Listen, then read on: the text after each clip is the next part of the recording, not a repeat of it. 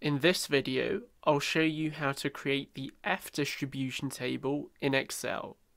We use the F distribution when we're testing the equality of the variances of two normally distributed populations. Applications of this include comparing the volatility of investment securities in different periods or against benchmarks. Each F distribution is described by two values of degrees of freedom, where one is referred to as the numerator and the other as the denominator. To create our F distribution table, we will use the F inverse right-tailed function, which returns the inverse of the right-tailed F probability distribution. This function consists of three parameters, the probability, the numerator degrees of freedom, and the denominator degrees of freedom. We've already added the different combinations of degrees of freedom as the table headings. The probability refers to the level of significance of the test in which the F statistic is used.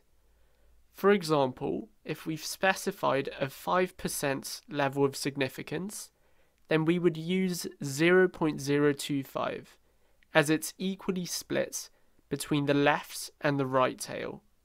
We will refer to the probability in cell H2.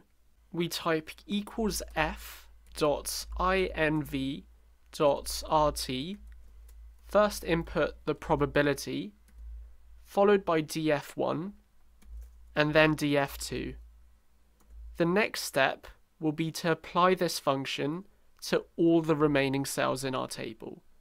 However, we can't simply drag the cell across and below, as we haven't yet added absolute references.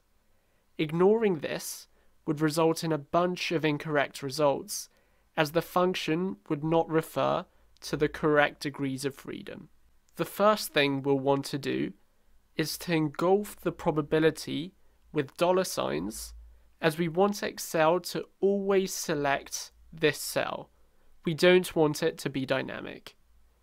For cell C5, we want the column to be dynamic and the row to be static.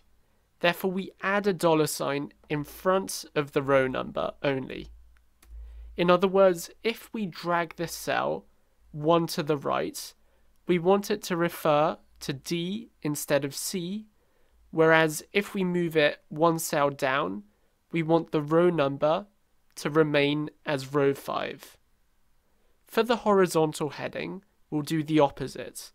We'll add a dollar sign before the column as we want the column to be static and we want the row number to be dynamic. So we won't add a dollar sign before the row number. Now that we've applied our references, we'll drag this cell to the right and down to apply the function to all cells within our table. So that's how you can create a right-tailed F distribution table in Excel.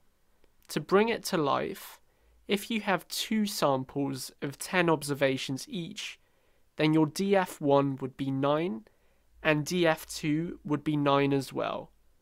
Let's also assume that you specified a 5% level of significance, which means the probability will be half of this, which is 0.025. The critical right side F value would be 4.03, as this corresponds to 9 degrees of freedom horizontally and vertically. If you want to find the critical left side value, then you would use the inverse probability, therefore 0.975 instead of 0.025. This brings us to the end of this video. Please give it a thumbs up if you found it useful, and subscribe to the Excel Hub for weekly Excel tutorials, techniques, and examples.